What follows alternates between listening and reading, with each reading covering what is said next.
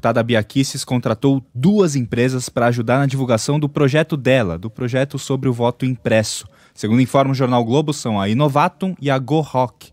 Receberam um total de R$ 12.500 e foram pagas com recursos da cota parlamentar. Pagas com dinheiro público, as companhias divulgam fake news e desinformação sobre o processo eleitoral.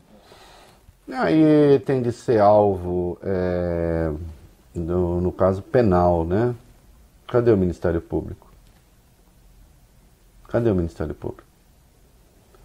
É, e como envolve uma questão dessa gravidade, também é assunto para a Polícia Federal. Não é isso?